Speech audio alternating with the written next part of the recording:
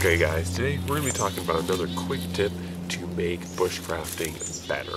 Now this isn't super complicated it is pretty easy, but if you find yourself running into situations when you're out in the woods where having something like a draw knife would be very helpful. And I think there, there are plenty of those situations, uh, albeit some people might not be as aware.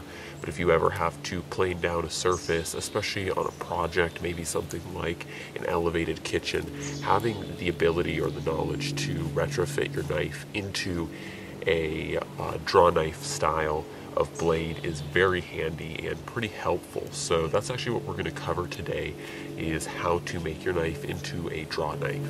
So it's a pretty simple process. All you need is a knife, of course. A larger knife though is preferable for this. So something like a blade inch of around seven inches because uh, when you form your knife into a draw knife, uh, you're going to be using a piece of wood. So that piece of wood is going to take up, you know, probably a good few inches of the blade. So if you have a blade that's already very small, you may be left with a very small surface to draw or plane down. So you want to start with something that has about a seven to six and a half inch blade length.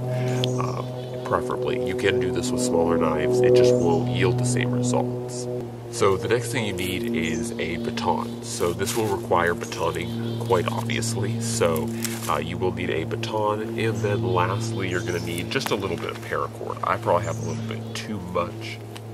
I probably have a little bit too much paracord here for this exact project, but you'll just need a little bit of paracord to make sure that the project goes to make sure that there's no movement with the draw knife or as little movement as possible. So the first thing you want to do is identify your piece of wood. You can always use your blade to kind of balance that off. So you want something that's about the length of your blade. This one's a little bit longer, but that will be just fine. So the next thing you're going to want to do is take your blade at the spot that you are wanting to um, have it your piece of wood as a handle and then you're going to lightly baton it. So there's a difference between some batoning. With splitting wood for fires, I usually baton the blade pretty hard for that. But for something like this where the aim is to not split the wood, I'm going to aim for about the center of the blade and then give it a few light taps. Now, hopefully the objective is that you want to get your blade about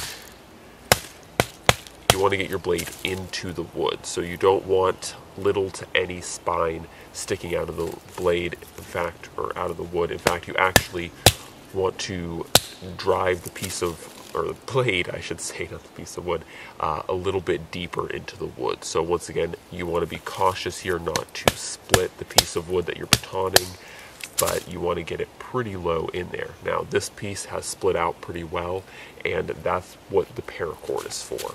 So optimally uh, you wouldn't want as much splitting as is going on here, but this is also dried wood.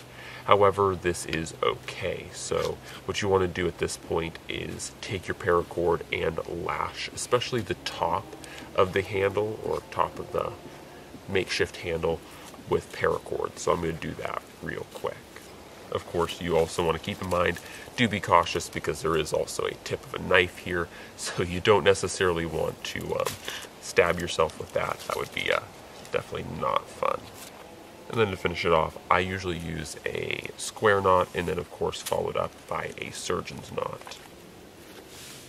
Okay, so once you have your lashing there, usually the friction of the split wood tends to hold the blade pretty well, uh, keeps it from going down. And of course, with the lashing, you have to try to make it as tight as you can, but the lashed uh, paracord usually helps prevent the knife from going back out.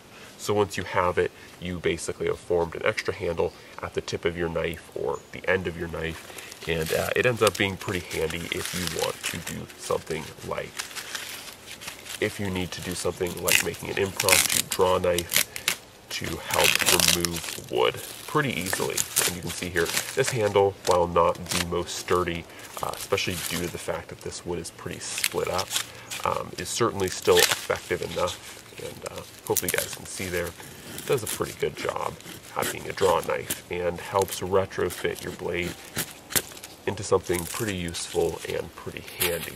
Of course, that was just a test, an example, but draw knives are pretty useful, especially when it comes to larger crafts, when you're trying to plane down a piece of wood to make it flat so that you can uh, use it for something like a workbench or something along those lines.